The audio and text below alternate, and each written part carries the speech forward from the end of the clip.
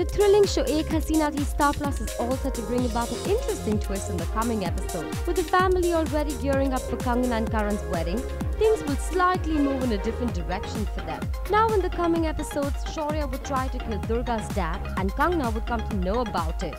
She would be left all shocked and later Durga will further inform Kangana about Shaurya being Nitya's rapist and Karan being his ally.